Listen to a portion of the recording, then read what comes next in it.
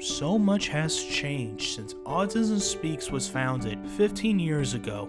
Finding out that your child is diagnosed with something that you had no knowledge of was extremely challenging. We've made great progress, we've listened, and we've learned. I found Autism Speaks, and that's where we found so many of the very first services for him. Today, we're reintroducing ourselves as we enter a future filled with even more growth and potential. It feels like Bridget was behind a set of closed doors and the, the doors are open. On our 15th birthday, we're sharing a new, more inclusive Autism Speaks, representing the infinite diversity of perspectives and experiences of people with autism. Don't let anybody stop you from, you know, from achieving your dreams and your goals.